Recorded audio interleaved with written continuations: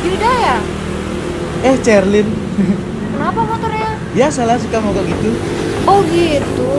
Mau ikut aku aja nggak naik transportasi umum? Aku lihat juga motor kamu nggak memenuhi standar SNI. Kamu juga nggak pakai helm. Selain menghemat biaya, kamu juga lebih hemat tenaga. Jadi nggak usah capek-capek kalau mau pergi ke kampus.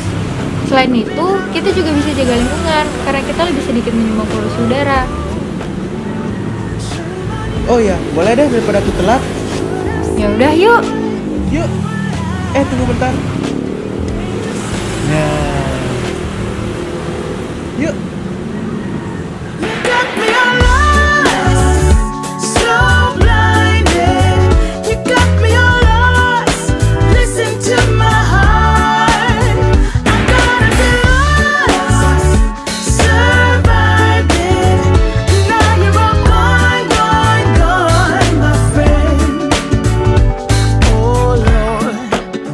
se for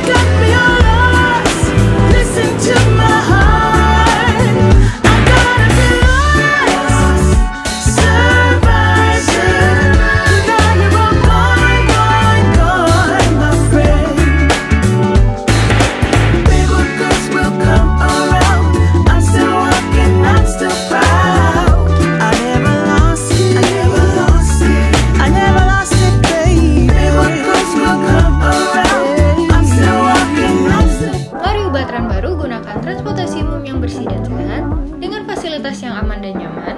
Dan bisa digunakan oleh semua kalangan. Ayo gunakan angkutan umum dari sekarang.